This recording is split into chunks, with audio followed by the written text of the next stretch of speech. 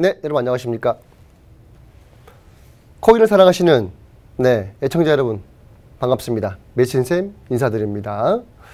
자, 우리 저번 시간에 이어서 오늘은 여러분 아더 코인이라고 혹시 들어보셨나요? 아더? 여러분 아더 하면은 뭐가 생각나십니까? 혹시? 뭐가 생각나세요? 음? 그렇죠. 엑스칼리버.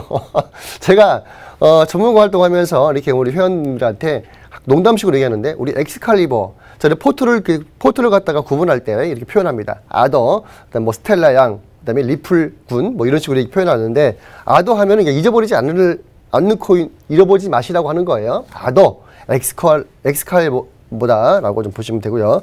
자, 우리가 오늘 아더에 대해서 잠깐 설명 설명을 드릴 텐데 어, 아더는 어, 어떤 거냐면은 지금 현재 좀 장이 장이 기복이 좀 심한데 심, 심했었는데 최근에 좀 장이 좀 빨래줄 치고 있죠. 어, 투매 현상이 나왔었고요. 투매 이후에 좀 반등을 주면서 현재 빨래줄을 치고 있습니다. 어, 최근에 뭐 불확실한 것들이 좀 제거가 되고 있는데 거기에 따라서 현재 우상향을 준비하고 있다라고 좀 보시면 되고요. 어, 거기에 따라서 지금 현재 시가총액을 잠깐 봤을 때 자, 시가총액 아들을 봤을 때 현재 얼마냐면은 음 4,600억 이죠 여기. 현재 시가총액 39위에 있고요. 어, 물론 여러분이 이제 이 방송 보실 때는 순위가 약간 달라질 수는 있으나 지금 현재는 시가총액이 4,600억 정도 되고 있습니다. 어, 자, 여기는 이제 우리가 이제 눈여겨봐야 될 것들은 예, 어떤 거냐면은 여기 보시게 되면 법인 소재지가 좀 중요한데 법인 소재지가 어디, 어디 있습니까? 그렇죠.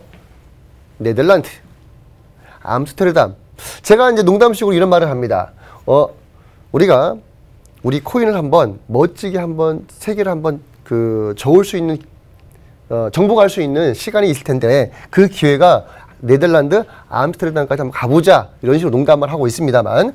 자 네덜란드를 왜 이런 말씀드리냐면은 보통 제가 코인을 소개시켜 드렸을 때 왜 국가를 소개시켜 드렸었죠? 영국 미국 중국 캐나다.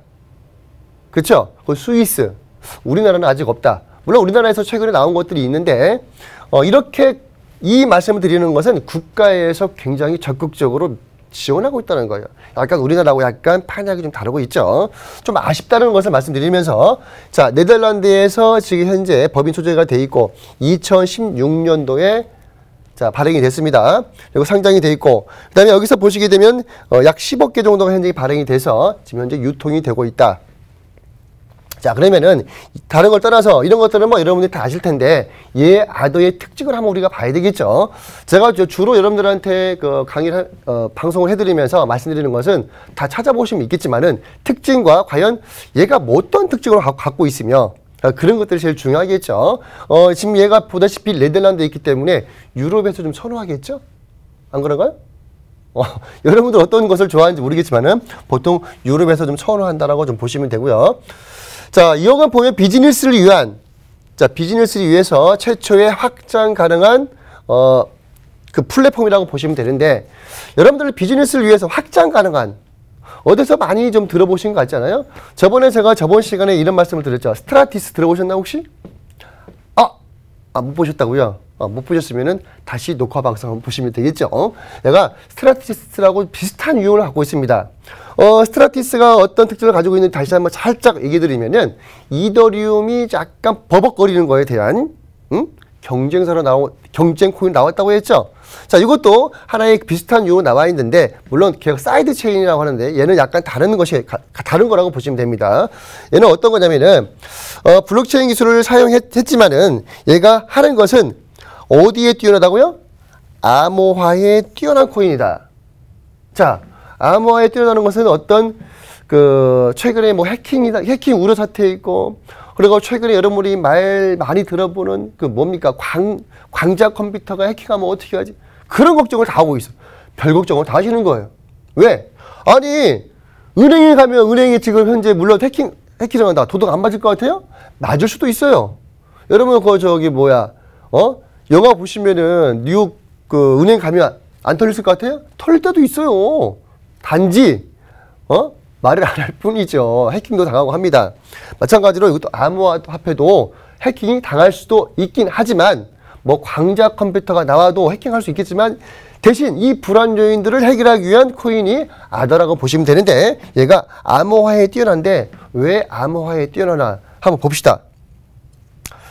어, 얘는 이제 그 특화를 한 거죠. 어떤 코인 중에서 특화를 했던 것은 어, 때로는 어 side chain을 하고 있지만은 얘는 어떤 식으로 하냐면 고급 그다음에 효율적인 에너지 그다음에 블록체인 어, 블록체인에서 child chain transaction은 확인된 블록체인에서 제거할 실제 블록체인을 가볍고 효율적으로 유지할 수 있다. 그러니까 이런 복잡한 말은 다 필요 없고요. 어떤 것이냐면은 그냥 간단하게 얘기하면은 이런 겁니다. 상위 블록체인이다. 상위 블록체인이다. 즉 이렇게 보시면 되겠죠. 너무 복잡하니까 부모와 자식. 어, 홍길동 아니 어 홍판서 홍길동의 혹시 아버지가 혹시 누군지 아십니까? 응? 제가 농담식으로 하는 말인데 홍길동의 아버지 홍판서입니다. 홍판서. 원래 이름이 안 나와 있기 때문에 홍판 홍길동의 아버지 누구야? 그러면 홍판서가 홍길동의 아버지입니다. 근데 여기 이것처럼 부모와 어, 자식 관계에 있다라고 보시면 되는데 자 부모가 없으면 자식이 없죠.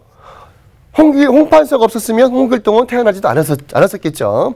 그런 것처럼 둘이 끊을래야 끊을 수가 없다라고 보시면 되고 중요한 것은 이 자녀가 뭐를 할 수 있냐 자, 홍판서는 자식을 낳았을 뿐인데 홍길동은 무엇을 했습니까? 무엇을 했어요? 유명해졌죠? 어? 메시섬처럼 유명해졌죠? 동해 번쩍, 서해 번쩍 본인이 진화를 한 거죠. 그래서 본인이 자체에서 밑으로 뭐를 할 수 있다? 자체 개발을 할 수 있다. 그러니까 즉 여기 아버지의 연연하지 않고 어, 홍판서에 연연하지 않고 본인이 본인 나라에 건국할 수, 건설을 할 수 있습니다. 그러니까 여, 여기에 어, 아버지에 대해서 연결되어 있지 않고 본인이 나름대로의 블록체인을 만들 수가 있는 거예요.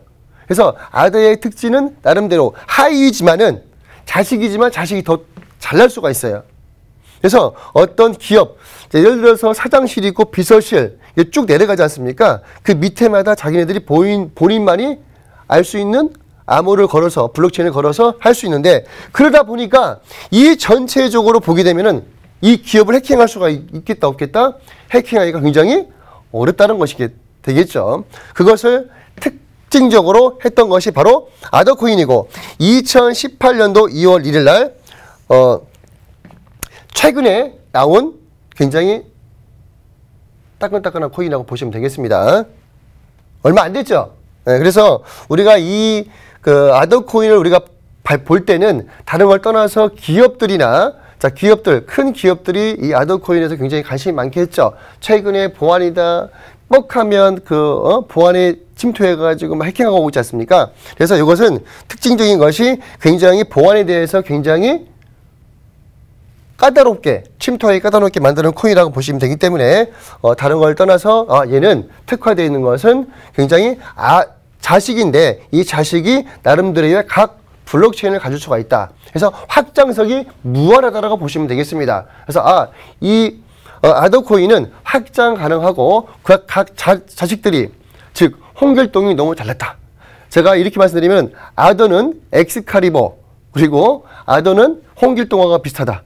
자식이 더 잘났다. 라고 판단하시면서 이 아더에 대해서 관심 있게 보시면 되겠습니다. 그래서 아더 코인은 앞으로 확장 가능하고 보안을 강화한 코인이다라고 하시면 이해하시면 되겠습니다.